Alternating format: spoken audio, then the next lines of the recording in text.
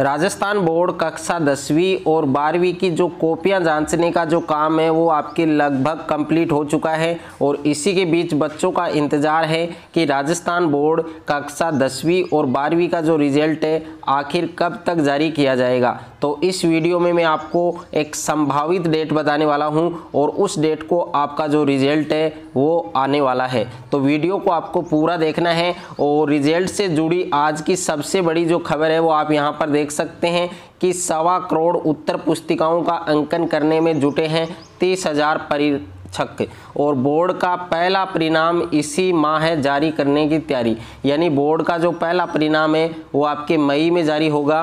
और यहाँ पर आप देख सकते हैं कि इस बार साइंस और कॉमर्स का अलग अलग परिणाम संभव। यानी पहले क्या होता था? 2020 में 2019 में साइंस और कॉमर्स का जो रिज़ल्ट है, वो राजस्थान बोर्ड एक साथ जारी करता था। लेकिन इस बार 2022 की बोर्ड एग्ज़ाम को देखते हुए साइंस और कॉमर्स का जो रिज़ल्ट है, वो आपके अलग अलग जारी किया जाएगा। राजस्थान माध्यमिक शिक्षा बोर्ड ने परीक्षकों को उत्तर पुस्तिकाओं के बंडल पहुँचाने के बाद परिणाम जारी करने की तैयारियाँ तेज कर दी हैं। सालों से चली आ रही परिपाटी के तहत इस बार भी इस माह के अंत में बोर्ड का परिणाम जारी कर दिया जाएगा। और पहले परिणाम के रूप में अब तक सीनियर सेकेंडरी का साइंस और कॉमर्स का एक साथ जारी किया जाता रहा है।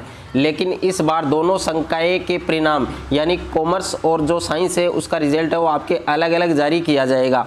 और यहाँ पर हम बात करें, यहाँ पर हम बात करें तो आपके साइंस का जो रिज़ल्ट है, सबसे पहले साइंस का रिज़ल्ट जारी किया जाएगा जो आपके 15 मई को जारी हो सकता है। यानी संभावित डेट है आपके साइंस की साइंस का जो रिज़ल्ट है वो आपके 15 मई को जारी हो सकता है और कॉमर्स का जो रिज़ल्ट है वो आपके 17 मई को जारी हो सकता है।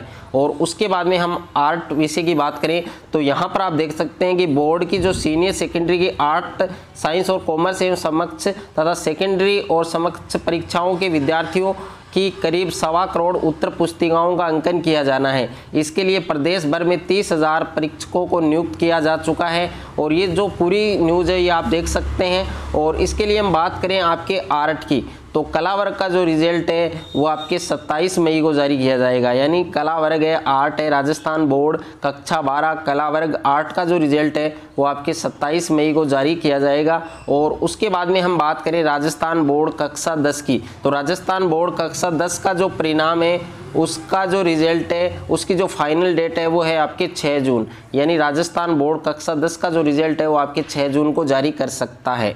तो यदि आपको ये वीडियो अच्छा लगे तो वीडियो को ज़्यादा से ज़्यादा लाइक करें, वीडियो को ज़्यादा से ज़्यादा शेयर करें और कमेंट में अपना नाम, अपने पिता का नाम, अपने ज़िला, ज़िले का नाम और अपना जो रोल नंबर है, वो ज़रूर आपको कमेंट करना है।